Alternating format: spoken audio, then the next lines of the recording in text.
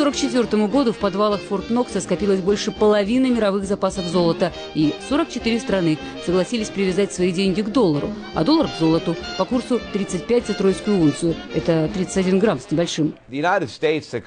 США сказали, у нас есть золото, доллар обеспечивается золотом и обменивается на золото, поэтому вместо того, чтобы владеть своими собственными золотыми запасами, владейте долларами. Но мы первыми же и нарушили эту сделку, потому что печатали в разы больше долларов, чем обеспечивалось золотом. В послевоенной Америке с трибун звучали лозунги «Мы будем богаты», налоги снижались, банкиры щедро раздавали кредиты населению и производствам, чья продукция шла по всему миру.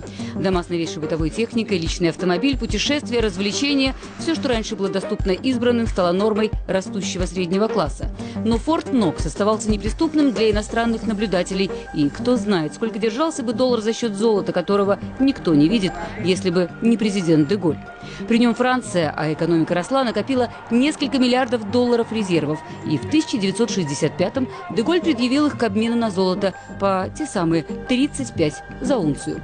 Недружественный шаг прозвучал из Вашингтона, но из Франции уже были выведены базы НАТО, а к американским берегам пришли два судна, забитые долларами под завязку.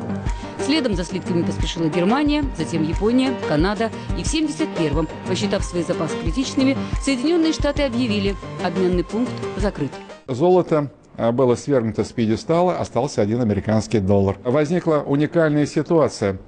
А, а, значит, хозяева денег, хозяева печатного станка ФРС фактически могли делать деньги из воздуха бешеный эмиссионный доход. 98 центов с каждого доллара имитированного этим печатным станком. У финансистов есть понятие инерция мышления, когда тяжело отказаться от чего-то до этого стабильно работавшего. К тому же доллары составляли основу резервов многих стран.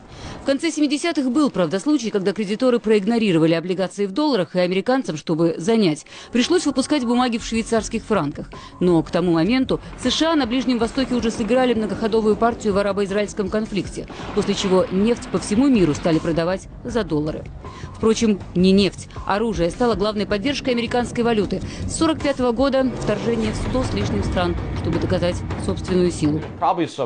Мы привыкли к этой ауре силы. У нас большие армия и флот, но то же самое было и в Советском Союзе. А между тем, за железным занавесом был упадок экономики, и страна зависела от дешевого американского зерна. И эта экономика пала. И я думаю, то же самое будет с экономикой США конца прошлого века американские товары сдают позиции не только на мировых рынках, но и внутри страны. Легкая промышленность, бытовая техника, машиностроение отчасти уже вытеснены Китаем, Южной Кореей, Японией. Рынок труда перекроен. Как самый яркий пример обанкротившийся Детройт, бывшая столица автомобилестроения, один из самых богатых городов Америки 60-х, не пережил переноса основного производства туда, где рабочая сила дешевле. Вот таких мест в Соединенных Штатах депрессивных много, и я думаю, что, учитывая тенденции в развитии мировой индустрии, они не восстановятся. Вот, э, если Трамп говорит, что мы вернем рабочие места в Америку, сделаем Америку вновь, вновь великой, да, у него был такой лозунг, я думаю, что в некоторых вопросах поезд ушел окончательно. По итогам этого года американская экономика вырастет на пару процентов, зато на фондовом рынке плюс 15. Бумаги резко опережают реальное производство, а это, говорят эксперты, предвестник нового кризиса. Даже называют год 19-20. И не факт, что налоговая реформа, затеянная Трампом, ситуацию не усугубит. Из-за снижения ставок налогов, а в этом суть, сократятся поступления в бюджет. Расчет на бурный рост экономики, на новые доходы, но если расчет неверен, опять печатный станок?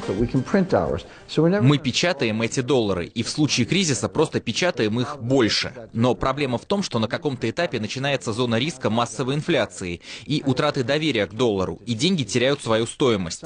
Доверие к валюте утрачивается очень быстро и внезапно. Сейчас Китай и Россия скупают золото. Россия утроила свой золотой запас за последнее время, чтобы меньше меньше зависеть от доллара, потому что США используют печатный станок чаще, чем можно. Иран торгует нефтью за евро, Китай готовится к торговле за юани с участием золота, в Евразес расчеты в американской валюте снижаются и в формате БРИКС по инициативе России ей ищут альтернативу.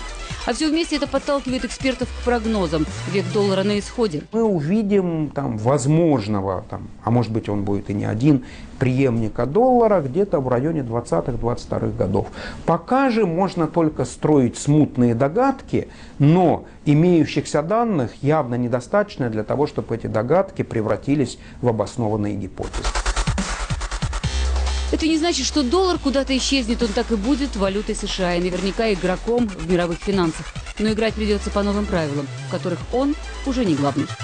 Наталья Семенихина, Евгений Марустин, Екатерина Коряга, Сергей Чевело, Первый канал.